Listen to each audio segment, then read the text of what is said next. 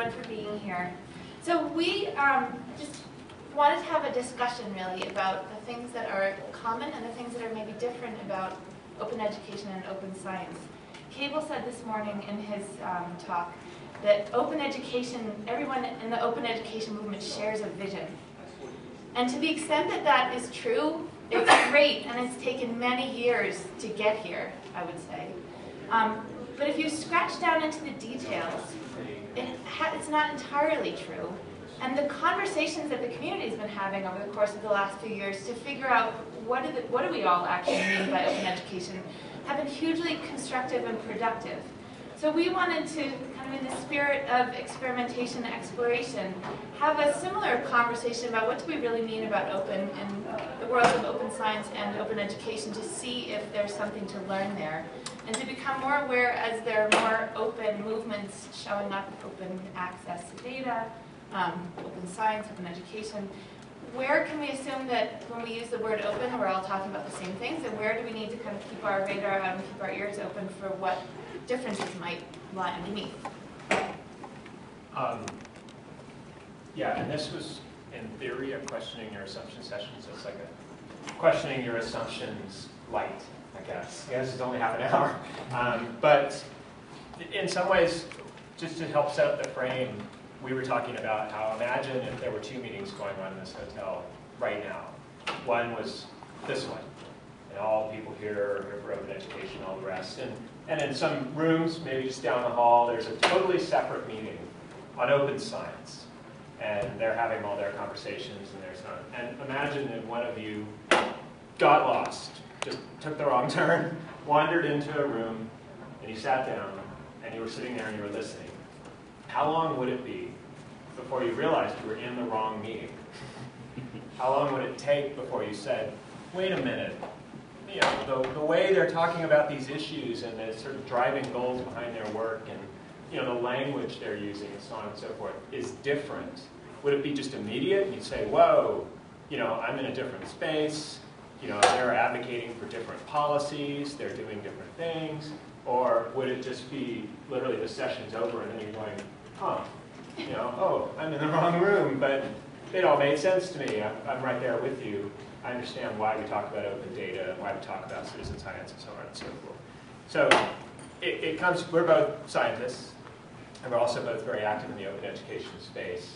And so I dance among the two. And there's times when I feel like I'm very comfortably transitioning from one to the other, and there's times when I don't, and I find that if I use an open education phrase, like um, you know, we should make it so everything is remixable because that's part of customization and adaptation.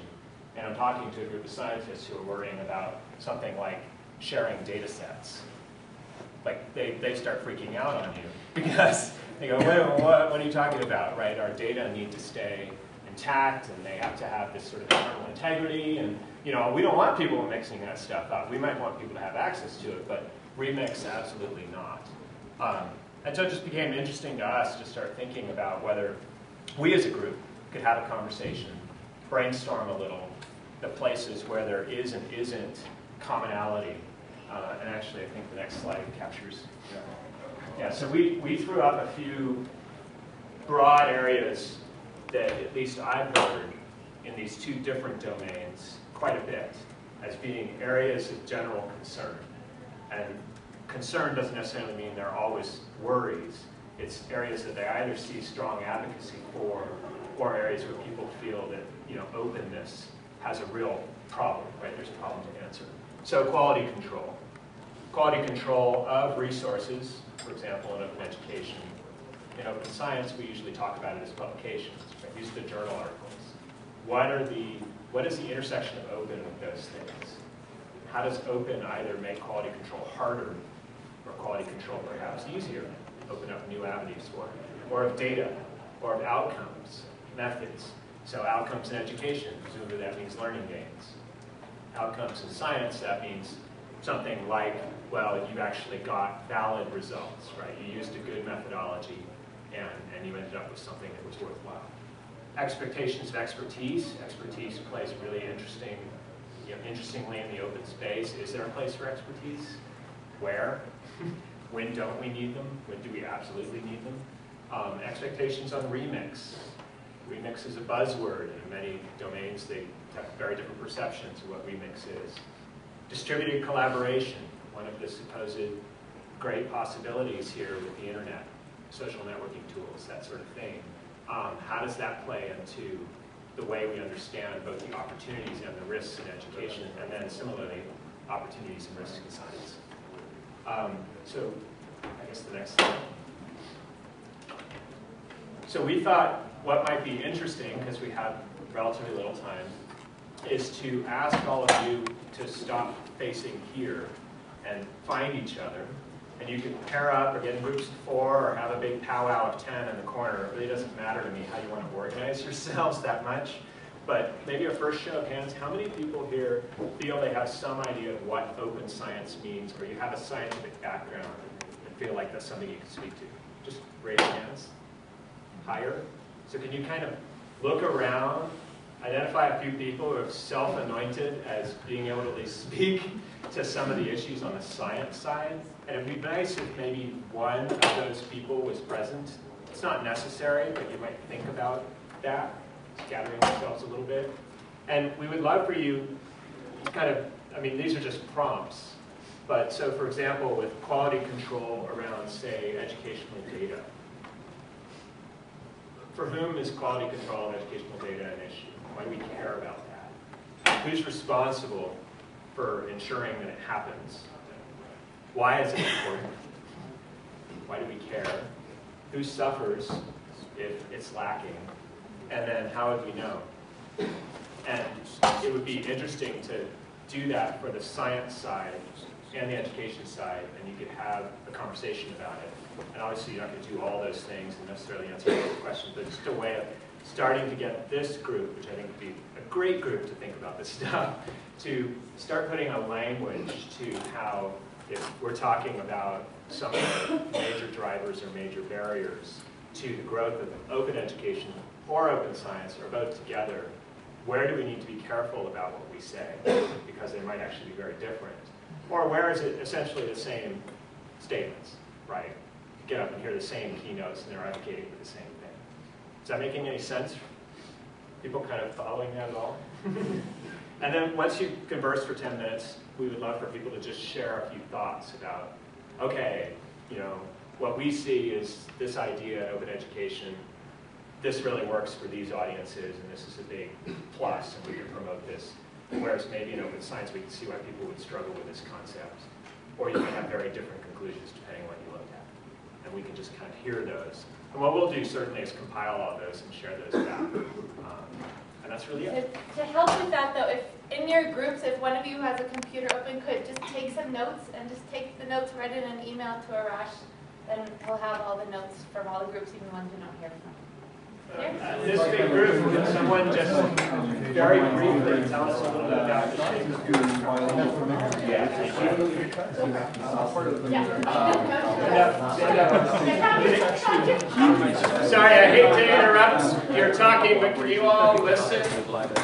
We're going to be done in two minutes, so let's just hear one or two thoughts. Uh, we, we were kind of focusing around the dialogue if I'm a scientist and I collect all this data, should I allow my data to be freely used and manipulated? Um, and we know this is a perverse world that we live in, um, and, and that data can be manipulated against us. And some of us feel very strongly against that, because most of us do. But that data should, should remain intact, but it should be open. For validating other things, finding other uh, findings, results, etc. Interesting. So open in that case is just access. Right, because, as, yeah, as science dictates, you can't cross this line back and forth. There's a method, you have to follow that method. Interesting. Any, anyone want to respond to that? Any thoughts? Well, you know, just a question, one thing we continually see come up. Um, so I'm in a university where none of our scientists have data. Um, the university has the data. The university owns the data and retains ownership to it. And so, whereas with our scholarship, our, our papers and our, our educational materials, our employee agreements transfer copyright back to us, we can share it as we wish. The data and, and sort of a lot of the other products or the processes of the intellectual work are university owned. And so to even get to that question of can we share this means a whole different set of stakeholders and data governance policies than we have on the, on the education side. Um, I think that the statement about uh, um, there being a specific method to handle this data is correct, but then it, uh, then equating that method with specific individuals is in- incorrect, right? Because there are people who um, can uh, do science who are not part of the official uh, apparatus or are not motivated by profit, and therefore do not have the resources to access that thing. So that's part of the issue. And I think we really marginalize those people. Like, no, that's just Joe Blow in his garage. What impact is he going to have? But we're starting to see increasingly there are people outside of commercial structures that are actually doing real innovation. I'm just curious, did you, did this group get into the question of, that was on the science side, what about educational data? Outcomes data, students, advocacy data on resources, that sort of thing? Do you have a similar problem with research that comes out of that? We didn't focus on the research side. We just, we did go on to the education side and said that, you know, as science, we should make all those topics of science freely available based on quality research. Is it one of the groups back here, want to share something? So we had a lot of discussion, uh, mainly about uh, you know, groups outside of the typical apparatus and structure of the science and engineering community and how they can be marginalized and be affected by the black book materials, uh, especially people, you know, in coun- countries like this, uh, working outside of the- grid, uh, and not necessarily a hobbyist in his garage, but we also talked about uh, people living in developed nations where they don't have material or resources to get 100-year-old documents on power engineering to construct a power grid in a place like Afghanistan. And how that can really hurt those countries and you know, send them back even further. And so what's the advocacy statement there? Well, I suppose uh, opening up a lot of those materials, uh, non-current research and even some current research. Well, and I think one of them was that in this particular example, we were talking about IEEE and the fact that there's potentially documents that are enclosed under, uh, uh, um, you know, access costs that are in fact in the public domain. And this is kind of crazy. And so in terms of advocacy, I would liberate those things personally. I mean, if literally there's no copyright rules enclosing that, and yet you have to pay forty-nine ninety-five to get a document, that makes no sense to me. Has anyone discussed the idea of allowing derivatives of published journal articles? Hmm. Whether you thought that was a good or a bad idea? Hmm. RF, I'm so sorry, Harold, this is amazing, hmm. we're two minutes over, we've got to switch to the next session, so I'm so Oh, is there another sorry. session coming right now? No, I think you have a couple minutes. We're going to do a two-minute break, but we've, we've got under two minutes, that we're going to. Okay. I know, I know. That's fine. Any last thought anyone felt needs to share? All right, well, you can feel free if you want, I would love it actually, if you- if there were any insights that you had. Yeah. Any particular sort of catchphrases, really anything at all that you want to email me, and I'll throw them all up onto the open 2011 site, and blog about it. Um, And otherwise, feel free to come around and share your thoughts. Hopefully, hopefully sparked a little thinking about these two domains. Thank you.